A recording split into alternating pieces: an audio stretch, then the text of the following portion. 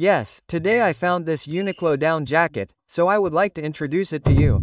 So, this is a high-end model that is quite high up in the TAION line, and TAION is, well, it has excellent cost performance, isn't it? I was wondering what a top-class down jacket is like, and I was interested, so I bought one. So, I would like to go there right away, but when you say, body on, everyone thinks of inner down, right? I think you think of something like a Gina down, but the final conclusion is that's where I go.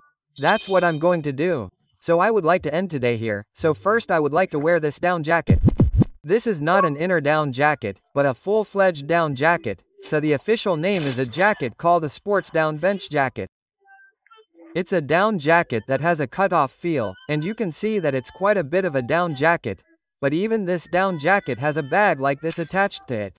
You can carry it around. I think TAION probably does this almost everywhere, so there are almost all of them. I'm wearing this in size L. I'm 178 kilograms and weigh 65 kilograms, and since it's a Japanese size, I think it's fine to wear it as usual. This down jacket is quite unique, isn't it? It doesn't look like much, and for example, it has a back attached to it, and it's not very common to have a back attached to it, and the pockets are actually double layered, and they can be accessed from the side, but they also have a zipper on the top, so they're two-way pockets. Most pockets go in like this. You can see that they go in from the side, right?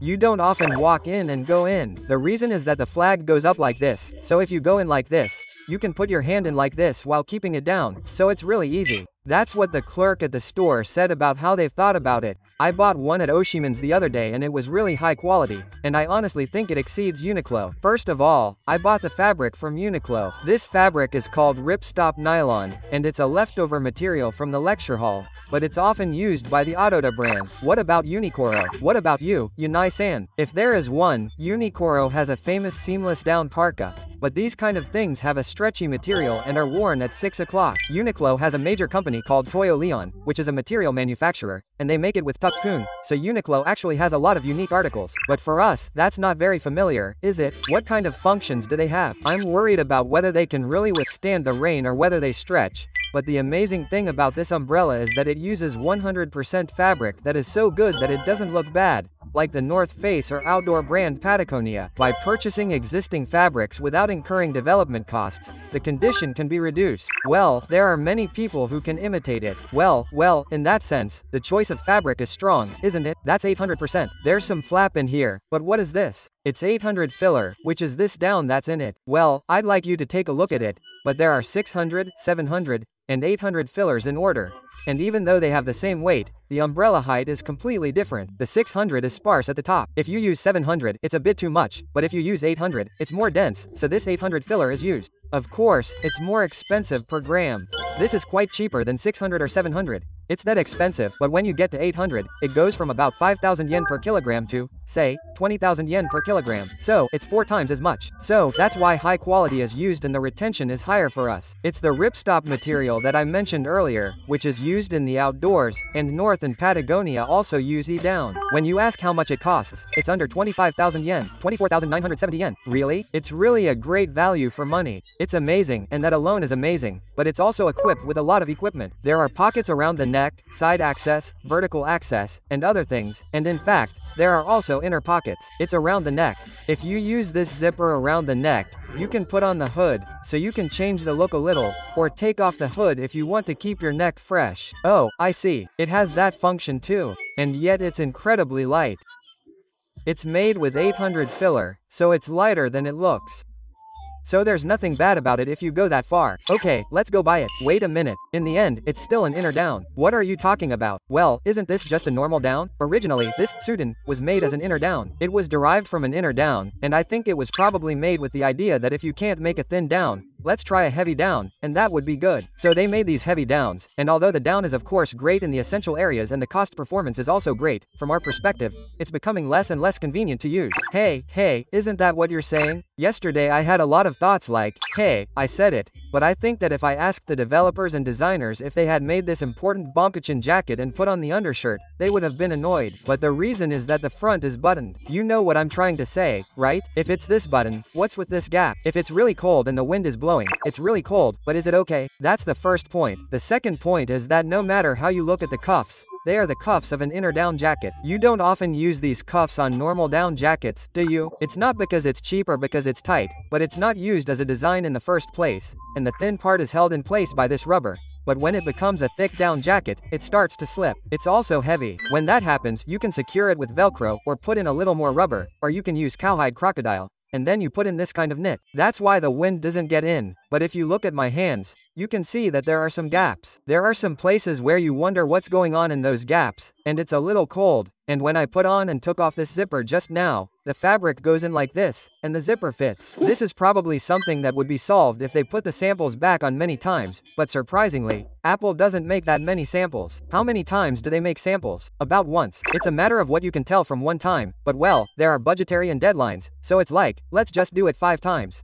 Quote, so I'm personally concerned about the fact that they're watching if it gets caught here. When you take off the hood, you're like, no, no, no, just take it off and take it off. Quote, of course, it's not the best, but when I take it off, I usually take it off like this. If it gets too much of a hassle to take it off, this is what happens. So I never use it again. I think it would be even better if it was easier to wear, so most of the time the hood is buttoned and the front is zippered. But in the end it's the other way around. On the contrary, this side is buttoned and this side is zippered, so it's hard to put on and take off which I personally think is a bit of a problem. But I also bought a two-way fleece that keeps the body temperature down. So, if I were to say what's good about it, I think this is the best cost performance I've had in the last 10 years. And I think this brand, TAION, is amazing.